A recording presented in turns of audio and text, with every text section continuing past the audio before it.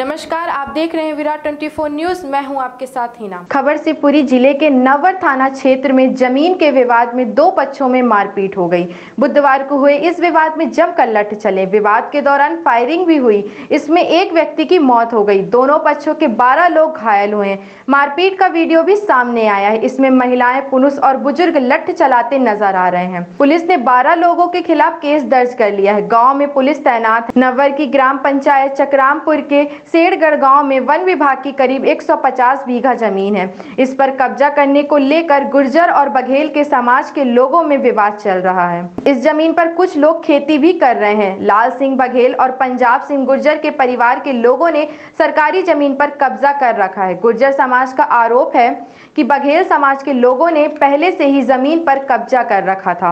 अब यह ज़मीन पर कब्जा करने के लिए बाहर से अपने रिश्तेदारों को बुला रहे हैं। उन्होंने लाल सिंह बघेल के परिवार को ऐसा करने से मना किया। इस बात पर दोनों पक्षों में कहा सुनी हुई करीब आठ दिन पहले जब बघेल समुदाय के लोग सरकारी ज़मीन को ट्रैक्टर से जोत रहे थे, तभी वहाँ फॉरेस्ट के कर्मचारी आ गए और ट्रैक्टर को जब्त करके ले गए। एहरबान गुर्जर का कहना है कि इस पर उन लोगों को संदेह हुआ कि हमने उसका ट्रैक्टर पकड़वा दिया है। दोनों पक्षों में इसी संदेह के चलते सप्ताह भर से तनातनी चली आ रही थी। बुधवार को यह विवाद खूनी संघर्ष में बदल गया। पंजाब सिंह गुर्जर ने बताया कि बुधवार को लाल सिंह पाल के भतीजे की बहू उस पर कचरा फेंक कर चली गई।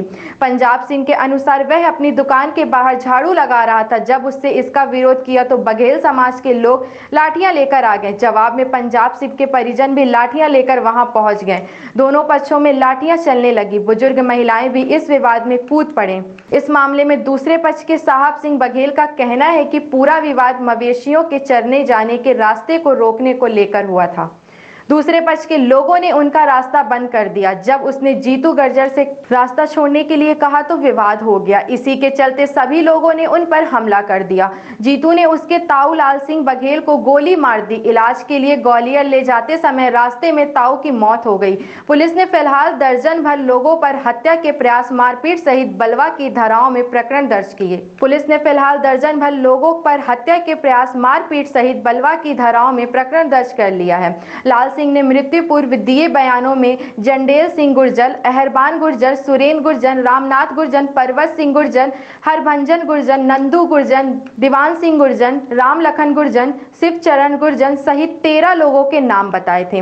बघेल समाज के लोगों का कहना था कि पुलिस ने बारह लोगों के नाम तो एफआईआर में लिख लिए हैं, लेकिन नत्थु गुर्जर का नाम नहीं लिखा। है इसी के चलते पहले तो उन्होंने नरवर तहसील पर चक्का जाम किया, इसके बाद उन्होंने फॉरेस्ट चौकी पर चक्का जाम कर कर दिया। यह चक्का जाम देर रात तक जारी रहा। शिवपुरी एसपी राजेश सिंह चंदेल का कहना है कि विवाद सामने आने पर गाँव में पुलिस बल तैनात किया है। पीड़ित पक्ष के बयान के आधार पर एफआईआर है।